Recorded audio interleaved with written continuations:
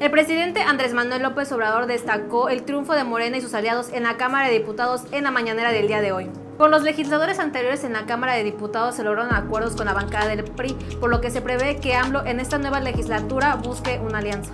AMLO aseguró que Morena y sus aliados lograron la mayoría simple en la 65 legislatura de la Cámara de Diputados, pero no logra la mayoría calificada.